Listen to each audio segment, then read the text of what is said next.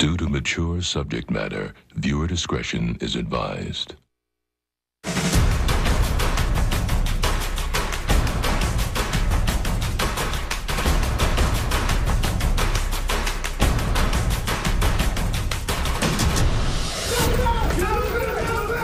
A two-on-one assault leaves an inmate bloodied and injured. Who had the thing that cut it back of his head open? But getting to the bottom of this fight requires some digging. Saw you swinging at him. You both had him cornered. You want to stand there and lie to me some more? You know, you sort of get that, is that him? Nah, it's not him. Is that him? Nah, it's not him. A popular restaurant owner, accused of capital murder, fights for his freedom. I believe that God allowed me to come here. I am definitely an innocent man. My original belief is Satan. A self-avowed Satanist runs a variety of inmate hustles to fund a bodybuilder's appetite.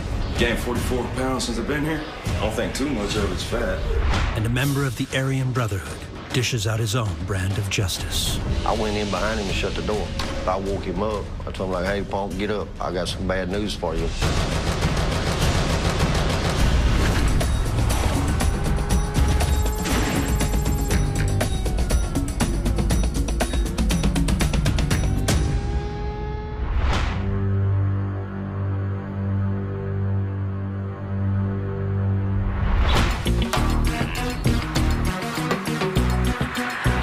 San Antonio, Texas might be remembered for the Alamo, today it's one of the fastest growing cities in America.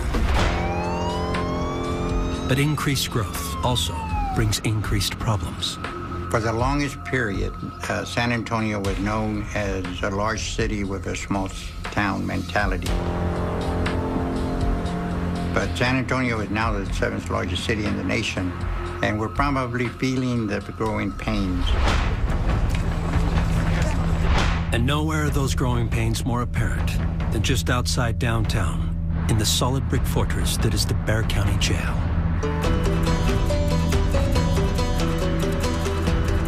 It's where anyone charged with criminal acts in San Antonio or the outlying area will surely spend some time.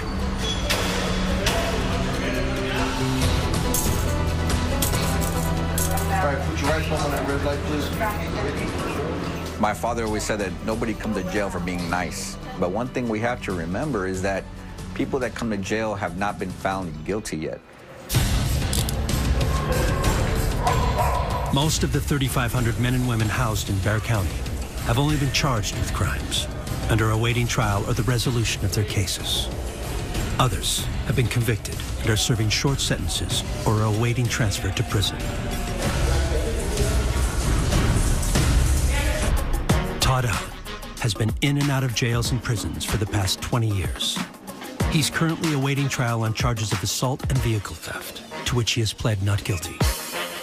Not a cakewalk, man. You see the knots on my head. I've been cut with razors, all right here. I mean, I got cut with a knife, man. This dude put six razors in a toothbrush.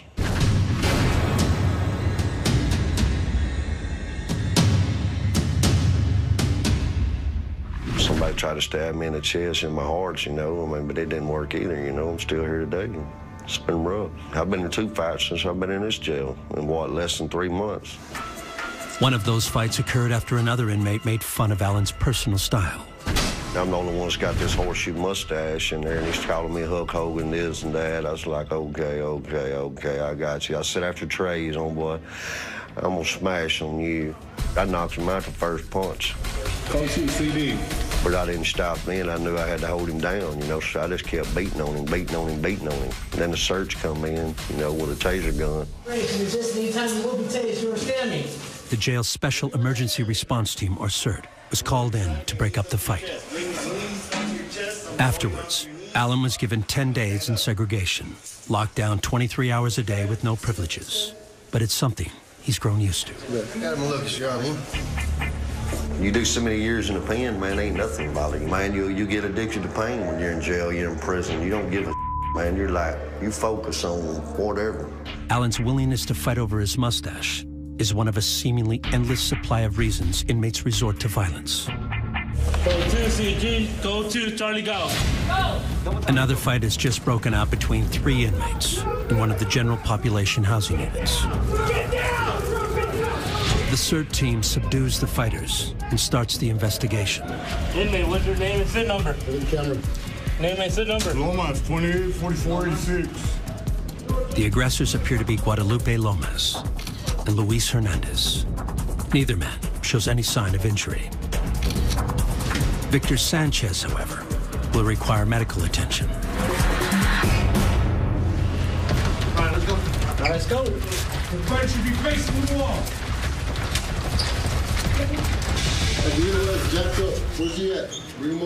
Sanchez's most obvious injuries are a black eye and a cut on the back of his head.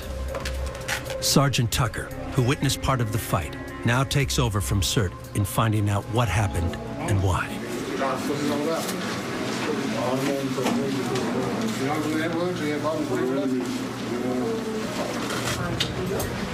Hernandez, so where were you involved?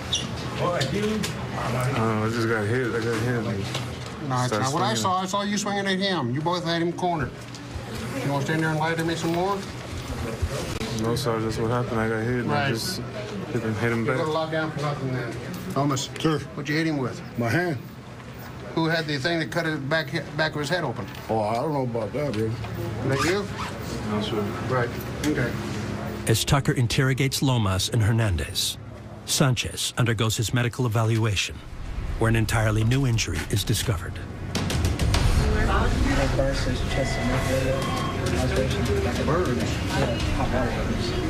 Chest and neck. So you want to do the water line? Sir? You the one that threw the water line? No. Who threw the water line? I don't know about that. He was already like that, man. Uh, so who threw the water line? So with all due respect, a lot of those injuries he has, they're already be- Those are fresh. Who threw the water on him?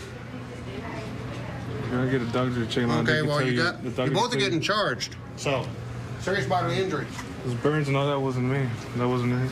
He was already like that. The officers, the picture had already seen him for days like that. While Hernandez and Lomas acknowledge fighting with Sanchez, they insist that some of the injuries were from another fight two days earlier. So Sergeant Tucker calls the officer who was on duty at the time, and the story seems to check out. The eye mm-hmm. was a couple days ago. Guys in cell number nine. There was never reported on it or anything. These are both the inmates in cell nine, uh, CG, the ones that did that eye to his eye. What it was, I said the last time I was here, we definitely feel better. Mm-hmm. Or CC. Because officers did not witness the earlier fight, and Sanchez made no mention of it or discussed his injuries with staff, no disciplinary report was filed. But several inmates said that Sanchez was in fact in an earlier fight, lending credence to the claims of Lomas and Hernandez. Numbers 18, 14, 12. All three inmates will be locked in single-man segregation cells for a cooling off period of at least 24 hours. Place your hands on the top bunk and stay there till you hear the door close. Though he and Hernandez were initially identified as the aggressors, Lomas, who is serving a one-year sentence for burglarizing a vehicle, says Sanchez started this latest fight. He came out, came to my cell, started talking, came back to his cell and wanted me to come inside. Ah, you want me to come inside? All right. I'll take off my shirt, open the cell door, and he comes out swinging. When he started swinging at me, that's when I did what I had to do. Well, he turned around and threw water on me, and we started fighting. How Yeah, that's why I got the burn.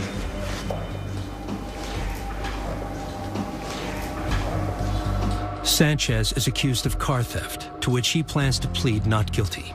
A lifelong stutterer, he says the fight resulted from a dispute with Lomas when they knew each other on the streets. He was crying about five dollars. Uh, it was- basically a stupid six six six six pack that that that, that he gave me, and and he was crying about five dollars. Oh, that was.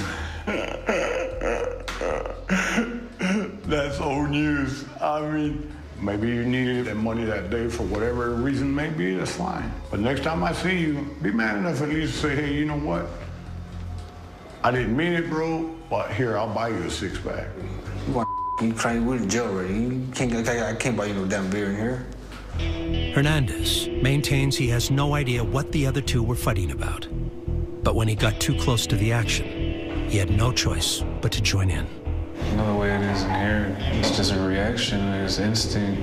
The other gentleman, how he got involved, I have no idea. I don't know if he got hit when we were fighting or what, and he started swinging back. But God is my witness. May he strike me dead, and I would deserve it if I threw hot water on that gentleman. No way. Coming up. You want to file charges? Should I? Victor Sanchez decides whether to raise the stakes and file criminal charges against his two attackers. And The business was very successful. Uh, everyone in the neighborhood knew me and they loved me. You cater my party at my house and everything. staff members are shocked to see a popular figure in jailhouse scrubs.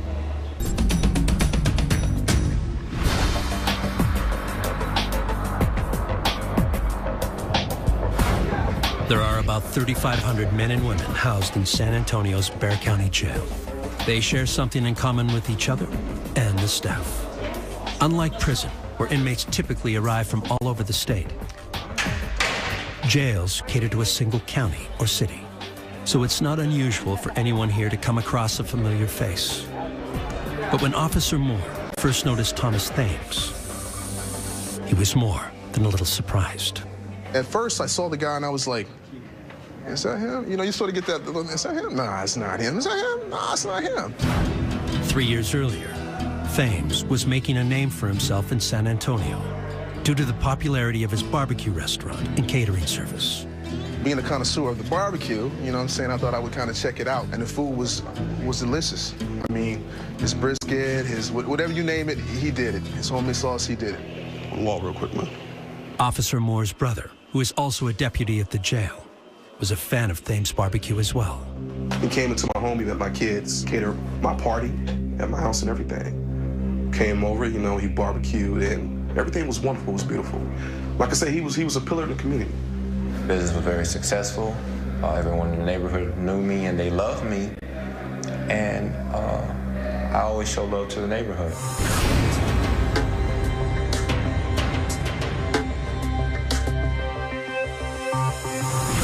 I believe that God allowed me to come here. Uh, I am definitely an innocent man. And just sad to say, a tragedy happened and it cost me to lose everything. Thames is in jail on charges of capital murder and concealing a human corpse. Prosecutors say he was part of a drug deal gone bad. While Thames has pled not guilty, his co-defendant recently confessed to a double murder in the case and was sentenced to two consecutive life terms. That person was a, a barbecue customer for six, seven years, someone you can trust. Thames would not elaborate on the details of his case, but he says he is confident he will be acquitted and that the three and a half years he has spent in jail trying to prove his innocence has served a purpose. This rock is the Word of God, and we got to start building our life on the Word of God. Not what man says and what people say and what our friends say. We got to build our life about on what God says, you know, because God's Word is the truth. Amen. Amen. God allowed me to provide this word in this prison. I have enough faith right now to know that God is, has everything ready for me. James chapter 4, verse 7. Thames leads Bible studies for the men in his housing unit and is regarded as a jailhouse pastor. But in another unit, Michael Lesher pledges allegiance to a different entity. You got uh, Lucifer and Satan. Through death I found life, and hell is my paradise. This is my paradise.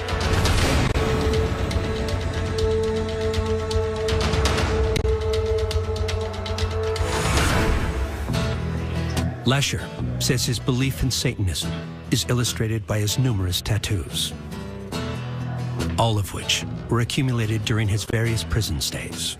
I mean, it's better than some of the scratches I've seen on some inmates, but uh, it's really not all that extravagant. It's definitely not street quality work. Um, it was all single needle. I was 24 when I got the tattoo on my head. The horns itself, eh, that's just me being an outlaw, you know, just somebody that's, I guess, a little bit of devil himself, you know what I mean? At the time that I got that tattoo, I had a real strict uh, belief in being anti-Christian. And uh, I believe that if there is a God looking down on me, he's got something looking right back up at him. My original belief is Satanism as in the original terms of the word. It just means a representation and acceptance of negative energy being there to let us know what positive energy is. You can't have one without the other. It's a balance. But in Lesher's case, his negative energy seems to have far eclipsed his positive. Me, I've been in prison my whole life. I mean, from the age of 14 to 19, I did five years on the state bid, 60 months. And then from 19 to 29, I did 10 years in the feds. You know, and now, I mean, I'm, my, my charges, I don't want to go into detail about my charge, but my charges now, two organized crime cases, three counts of burglary of habitat with force. Lesher has pled not guilty to his current charges and is awaiting trial. His repeat offender status could bring a lengthy sentence if he is convicted. And so I'm a violent criminal facing more violent charges. Three-time loser.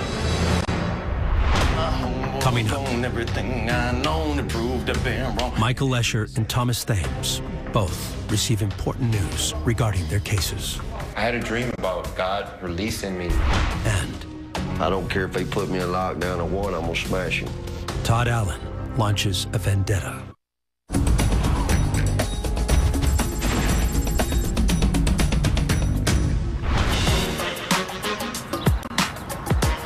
When new inmates arrive at San Antonio's Bexar County Jail, What are you, quarter or homeboy? Quarter. Why are you just hanging around with these guys? Only one's from 11 here. officials ask them about any known enemies they might already have here. They then place those inmates in separate housing units. But inmates rarely disclose every conflict they've had on the streets, such as the dispute over $5 and a six-pack of beer that led to a recent fight between Victor Sanchez and two other inmates. Jacked up. Where's he at? Bring him over here. Sanchez initially claimed that he sustained a black eye, burns to his chest, and a cut on the back of his head in a fight with Guadalupe Lomas and Luis Hernandez, both of whom admitted to the fight but denied the injuries. Clerk, you the one that threw the water on him? No. Who threw the water on him? I don't know about that. He was already like that, man. After Sergeant Tucker investigated a rumor that Sanchez had fought with two other inmates days earlier, Sanchez admitted that the black eye came from that fight, as did the cut on the back of his head, which was reopened in the fight with Lomas and Hernandez. But he still insists they were the ones who burned him with hot water. Sanchez, you want to file charges? Should I? Mm, It's up to you. I will tell you that if you don't file charges, the county's gonna file them anyway, because that's serious bodily injury. Yeah, I'll press charges. Okay. And all four of them? Or just two? for? 'Cause What other, The, the, the two from uh, two days ago? No. We really can't do anything about right now. The only thing we can work on right now is this case here. yeah, I'll press charges. Okay. That's all I need to know. That's what they get. I mean, they, they assaulted me. I got assaulted, so they, they, they, they got to stick what they could do. Come to me now. As a member of the white supremacist Aryan Brotherhood gang, Todd Allen has seen his share of violence behind bars as well.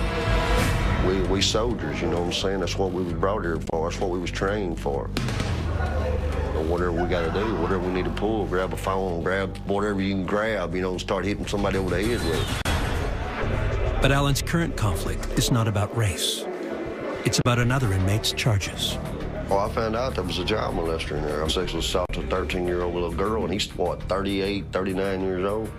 Man, you don't do that, man. Those that uh, have charges against children, they tend to become prey. Some will try to make it out in population, but once they find out or if they feel that their, their lives are being threatened or anything like that, we have to segregate them. The laws can only protect a person for so long, man. There's ways to get to a person in any way, every way. You can get to him and kill a person right here in this jailhouse if you know what you're doing. Uh, believe it or not, we have individuals here in the facility who themselves do not like those type of crimes and they will try to seek retribution, get revenge. And even though attacking the alleged sex offender in his housing unit could result in additional criminal charges, Allen says he's up for the job and intends to follow through. I don't care if they put me in lockdown or what, I'm gonna smash him. You don't do that to kids, man. That could have been my daughter. Could have been your daughter. Could have been his daughter. You know, you don't hold one down, force yourself on nobody, man. A kid is a kid. That's a gift from God. Thomas Thames has been banking on a different sort of gift from God an acquittal. Known around San Antonio for his barbecue, Thames has been charged with murder and concealing a corpse in what has been called a drug deal gone bad. These are my sermons. Um, this is what I wrote a long time ago. Uh, love God and be careful what you wish for. I'm going home. Be careful what you pray for. I'm going home. Totally me, totally free. And I wrote that when I first got here because I knew I was innocent. And there's scriptures I pass out every day to inmates. So we have a total of 80 inmates that gets three scriptures a day, which are passed out every day, rain or shine. We call him Brother T, Thomas. Uh, every day he uh, takes it upon himself and he puts a little piece of paper and has three Bible verses. You know, this is nice that his spirit moves him to do that. You know, to take it upon himself to, you know, try and win another soul. Bless you. Thank you, brother. Bless you. Thames's popularity in his housing unit is not unlike what he enjoyed on the outside as the owner of a barbecue restaurant and catering service. A business that started out in a roadside tent. Had opportunity to get partnership with a, a gentleman uh, and he we started uh, building the business together. And so God blessed me with this young man, and he he bought a trader. So not only one trader, we had two traders, and we had two uh, locations, and that prospered also. And from those two locations, we started our restaurant. One of Thames's customers is now one of his jail keepers. Officer Moore hired Thames to cater parties at his home and took note of his business's growth. You know, I just kept asking hey, man, you know, how'd you get this money? How'd you do this? How'd you do that? He said, hey, just got a rich benefactor who believes in me. Okay, cool. Do your thing. Moore was startled to see Thames in jail as an inmate. That right there was basically made my heart drop. And I was kind of upset, like, what are you doing in here? Hey, Moore, this is what happened. And I told him, I said, straight up, I said, man, don't lie to me, man. What you doing in here? And that's what he told me. Thames told Moore he was innocent. When you know the truth, the truth will set you free. And when you know the truth, you don't have to answer any questions or ask God any questions. Coming up. This is the year of release, and this is when God is going to start uh, releasing his chosen ones. And I'm one of those that he's going to be releasing. Thomas Thames finds out if he will in fact be set free. And most people think they can't do pull-ups from it, but Michael Lesher shares his jailhouse fitness tips. Due to mature subject matter, viewer discretion is advised.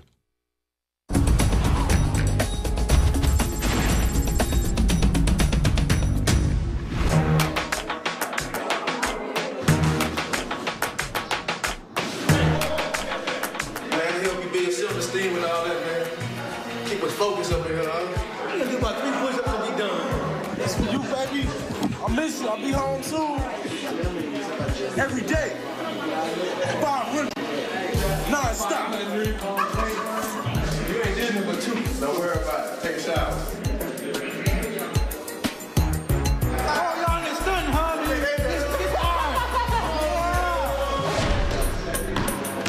Most inmates at San Antonio's Bexar County Jail find working out is one way to beat the monotony of incarceration.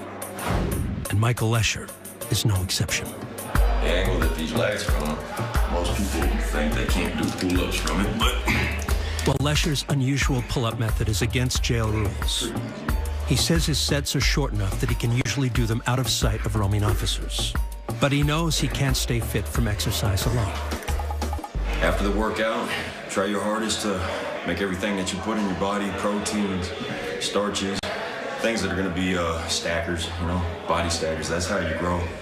If you don't get enough food, you can only use what you put in your body. If you go work out harder than that, you're gonna burn off more than what you put in your body, so you're gonna get skinnier. gained 40 pounds, 44 pounds since I've been here. I don't think too much of it's fat. You know I mean? So, uh, you know, I got a six pack. I'm doing all right. Unlike most inmates, Lesher finds the meal served by the jail to be effective in fueling the rigorous workouts that help keep that six pack turning into a keg. Remember, two slices of bread, gents, two slices of bread. I understand all my carbohydrates, all the breakdowns of complete and non-complete proteins.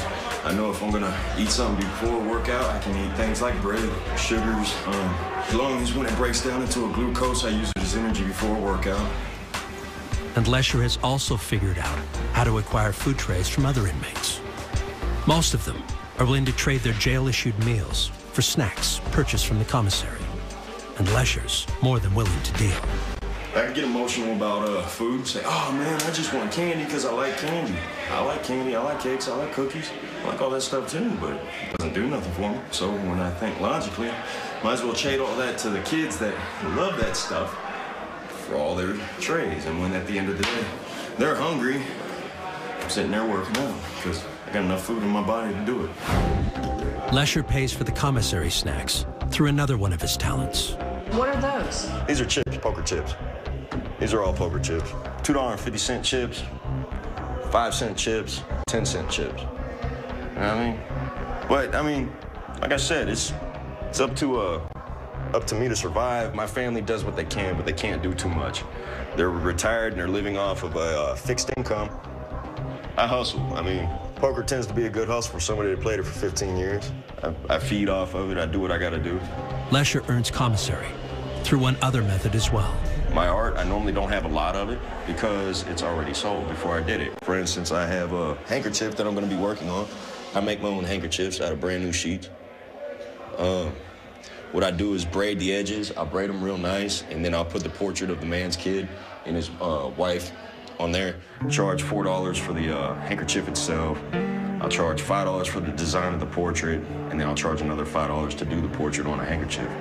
Um, so between 14 16 dollars depending. Managing the dollars and cents of life behind bars is a skill Lesher has honed over his 15 years of incarceration. Todd Allen has also spent most of the past 20 years in and out of jail and prison.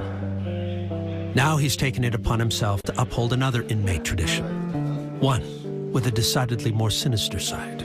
That's something we're big on. We don't allow snitches, and we don't allow child molesters.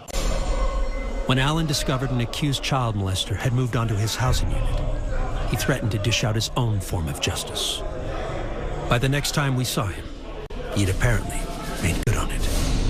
He was in his cell. I went in behind him and shut the door. And uh, that way he couldn't run out of the cell on me. Door was automatically shut and locked. He was at like he was asleep. I woke him up.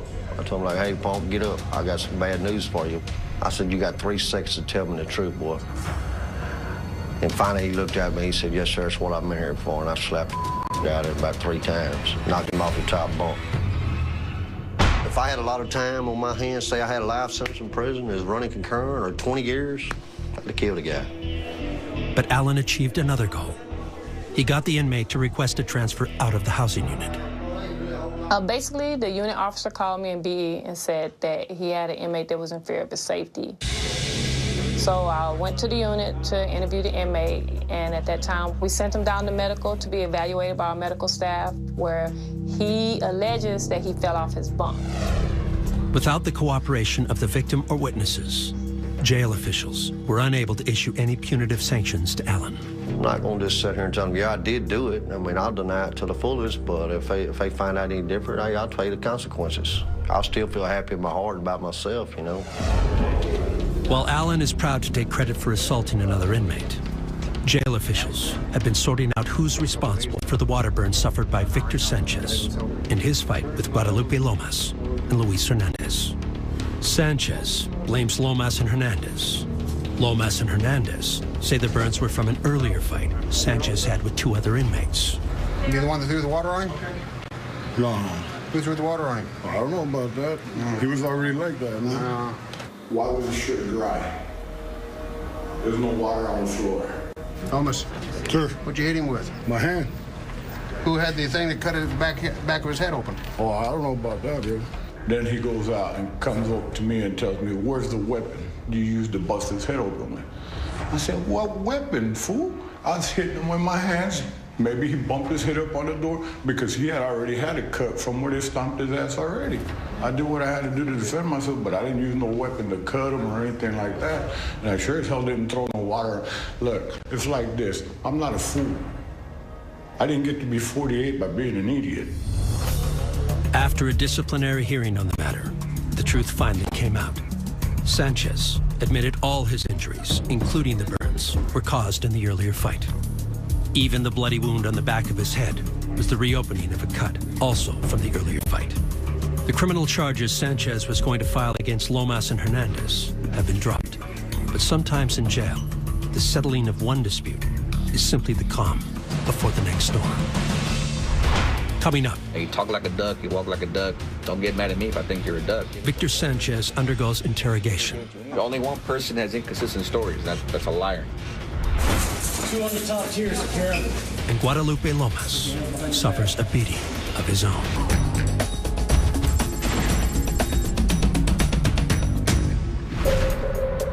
Inside the walls of San Antonio's Bexar County Jail, Thomas Thames has spent the past three years trying to fit his six foot nine inch body onto a considerably shorter bed. The former basketball player and barbecue restaurant owner has also been fighting charges of murder and concealing a corpse in a case described as a drug deal gone bad. I had a dream about God releasing me and opening the gates of heaven, open the gates so I can be out. And that's the picture right there I have that's on the wall. This is Jubilee. This is the year of release, and this is when God is going to start uh, releasing his chosen ones. And I'm one of those that he's going to be releasing. And according to Thames, his statement is no longer one of faith, but of fact. I was called to court unexpectedly. I went to court, and paperwork's already ready. I didn't even know that I was getting my cases. I knew it was going to be dismissed, but I didn't know when. So when I went to court, paperwork was ready to be dismissed. And so it didn't even take me, it took me seconds, or it took me five minutes to get my case dismissed, but I had to spend three and a half years for what it only took five minutes to do. I should be leaving any day. Um, today, tomorrow, Wednesday. I'm just waiting on paperwork to be cleared up. As soon as I get out, my job is to preach the word. And a few days later, Thames did in fact leave the jail. But he did not go home. While he did have the most serious of his charges, murder, dismissed, Thames had given us an inaccurate account of what actually happened in court. Unlawful carrying a gun and the capital murder cases were dismissed. Uh, and in court, they found him guilty, though, of the disposing of a human corpse, uh, where he was sentenced to 10 years TDC. Why would he have thought he's going to go straight from jail home? Now, that part would be a misinterpretation in his part. Uh, he was actually there in court with his attorney, in front of the judge, in front of the prosecutor, as far as what he pled out to. So, uh, whether he didn't understand or if he knew and maybe really misrepresenting the truth to you, I don't, I don't know. But he's, he's there in front of the judge and in front of everybody, pleading out to uh, TDC sentence. When we went to follow up with Thames, he had already been transferred to a Texas state prison to begin serving his sentence. With the time he's already spent in jail taken into account, Thames will be eligible for parole in little more than a year. One of his former customers hopes that his incarceration will serve as an important lesson. A lot of people looked up to him in the community. You know, I want him to get back on track and let them know that, you know what, these chances, you know, are given to you for a reason. You know, you can't mess it up. If you mess it up, you know where you're gonna go. And now, one of the jail's gang intelligence officers suspects another inmate is not being truthful about a particular aspect of his life. The inmate is Victor Sanchez. Officer Rodriguez has received a report that he is an operative for the Mexican mafia. Well, your name came up in a report, Victor. You don't know the report I'm talking about? Roughly 20 days ago? Fear for safety? No, somebody else was in fear of you. You know anything about that? Okay. The report says that this guy's in fear, saying that you and a bunch of other inmates are basically strong-arming him and other inmates within the unit, and that you're ex-Mexican Mafia. Now, the problem with this report is you also have a history of being identified as a gang member in the past. But I'm, I'm not a Mexican. I understand that, but why would this inmate say that about you? The thing is, is that there's 44 inmates in that unit, He has 44 people to pick. He identifies you. Why would he do that? I don't even know who he is. I don't It doesn't matter who he is. The point is that he identified you. I'm not doing nothing. I, I'm not doing Obviously, something's happening in there if he's identifying you. We want to go ahead and try to weed out the major prison gangs from general population because these particular gangs are predatory gangs and they prey upon the weaker inmates in the facility. We want to get them out of population so we can go ahead and make the jail as a whole a safer place for both inmates and staff. So you understand what I'm telling you, right? I'm going to lockdown or something. You probably will today. Well, why? I mean, if I didn't do that. Your history of being identified as a gang member in this recent report. My job is to figure out where I'm going to house you at. That's what we're talking about. But I'm not doing nothing. Why, why, why, why, why, why should I go lockdown if I'm not doing nothing? You, you, you, you, you can look at my reports. I'm, I'm. I am looking at your reports. I'm, I'm not getting, getting in trouble. I'm not getting write-ups. I'm not, But we just talked about a report you were involved in where an inmate identified you. why should I go lockdown if I'm not doing nothing? So why would you think this guy would identify you as a member of the Mexican mafia if you're not doing anything? Who is he? Who? I mean, It doesn't matter who he is. Why would he say that about you? to, to put me locked down. To, to, exactly what y'all trying, trying, trying. Why would anybody do that to you? You owe, you owe money in there? What's going on? Why does somebody want to get rid of you? I don't know. I don't, I don't, I don't, I don't have, I have no, no, no, no, no, no response to that 'cause I, I don't know. I'm, I'm not Mexican mafia. I'm nothing. Man, you can look at me, man. Officer Rodriguez then changes course to ask Sanchez about the fight he was involved in with Guadalupe Lomas. You got in a fight with two guys, didn't you? Or one guy? Yeah. What was that about? The money? You talking about drugs here? What are we talking about? No, it's just money, money, money that dude owed me. How much you owe you? You owe me fifty dollars Fifty dollars for what? for fixing the car. Yeah. So when they did the investigation, you told them it was over beer. It was, was beer too. Well, which one was it? It was beer, and it was, it was over the car. That's all I told him about the beer. But I'm not doing nothing wrong. The only one person has inconsistent stories. That that's a liar. Flat out. I mean, we're both grown men here, right? There's no point in beating around the bush here. You've been lying in the past. Why on earth would I believe anything you tell me at this point? But I'm not a Mexican mafia. That is. So, here's what I'm seeing. You're identified as a member of the mafia and population. You know, you talk like a duck, you walk like a duck. Don't get mad at me if I think you're a duck. You know what I mean? Still, without concrete proof of Sanchez's gang affiliation, Officer Rodriguez has no choice but to return him to general population. We may need to go ahead and keep a close eye on him in population to see who he's talking to and to see uh, exactly what his exact ties were outside of the facility. And as a result, if we can do that, if we do our job right, we might be able to identify not just him, but maybe more inmates that are uh, aligned with this gang and get a chunk of them out of the population. While staff will watch Sanchez for any ties to the Mexican mafia, his former nemesis, Guadalupe Lomas, might have just had his own run-in with the gang. Two on the top tier, security. Lomas is currently serving disciplinary detention. Um, a couple days ago, he was involved in assault. Inmates were out on their day room hour and took it upon themselves to assault inmate Lomas. Lay down. Put your hand behind your back. The inmates who assaulted Lomas would not appear on camera, but were sent to disciplinary detention and could possibly face criminal charges. No one knows the reason why they assaulted him. It's allegations as to why they did it, but no one knows for sure why he got assaulted. What are the allegations? Mexican mafia. Supposedly, the young guys probably trying to make a name for themselves and took it upon themselves to assault Lomas. Lomas, despite his injuries, would not give authorities any information about why he was assaulted. So for now, he will be treated for his wounds and transferred to another segregation unit, away from his assailants. Coming up, Words of a warrior. jail brings hard truths for Michael Lesher. Another person just balled up and thrown away like a piece of trash. And I'm a hardcore dude, man. You'll never see me cry, man. But when it comes to that, bro, it's just hard, man. Todd Allen receives disturbing news from both the courts and home.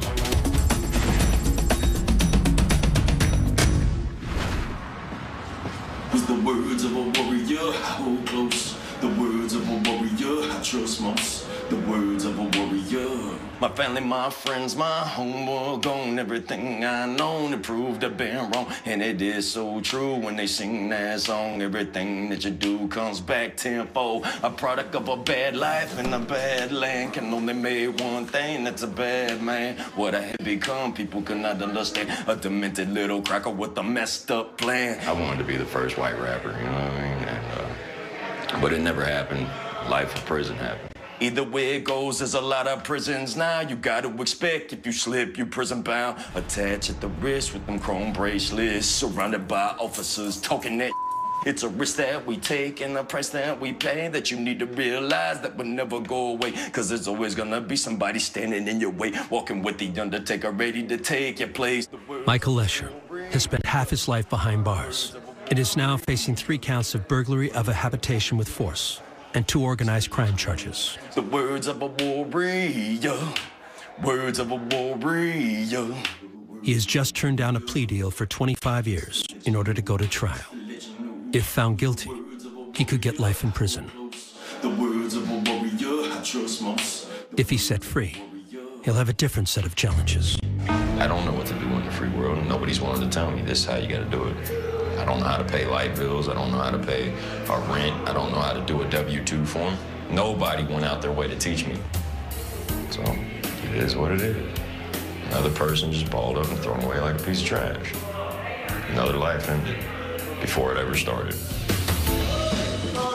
While Lesher awaits his fate in Bexar County, he's made friends with another inmate who could also be looking at a long sentence if he's found guilty. Todd Allen. Allen was recently transferred to Lesher's housing unit. A short time later, he took part in the jail's underground tattoo trade and got some new ink to honor his gang. Yeah, I decided to go ahead, man, do a little different look, you know. This one right here is ABT. Some gang related, you know what I'm saying? Five star crime represents us, Aryan Brotherhood.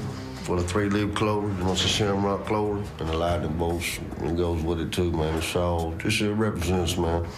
Allen also received something new from the district attorney a plea deal offer on his charges of assault and vehicle theft. Because of his past record, Allen could face significant time in prison if he were found guilty in trial. They offered me 10 years on both charges. I'm like, hell no, man. You get it down to five or less, I'll sign, man.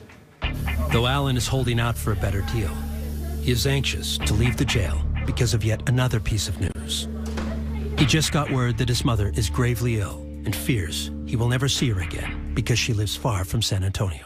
She's got lung cancer real bad. You know, she's in and out of hospital, pneumonia. She's on oxygen, breathing machines.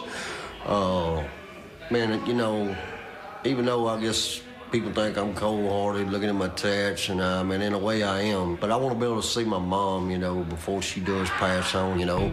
If Allen quickly accepts a plea deal, he could request a prison closer to his mother's home and possibly see her again. Since I've been in the hospital so much lately, it scares me. I was in there 14 days of February with pneumonia. I almost died, so, uh, you know, just ask God forgiveness, He'll help you. And, and one of the other letters she wrote in there, you know, she said, I'll never forget you. You always been my baby boy, you know what I'm saying? If he doesn't accept a deal, he might have to be acquitted to see her. And even he feels that's a long shot. She's a real good woman, man. She, uh, I've seen her go through hard times and bad times, take beatings. I'm a hardcore dude, man. You'll never see me cry, man, but when it comes down, bro, it's, it's just hard, man. And knowing you being in here, you know, I think I said, man, just to see her one more time, and I'd take five years. I might even take the 10 piece, I don't know. I feel like when I lose my mom, it's over. She's special to me, man. She really is.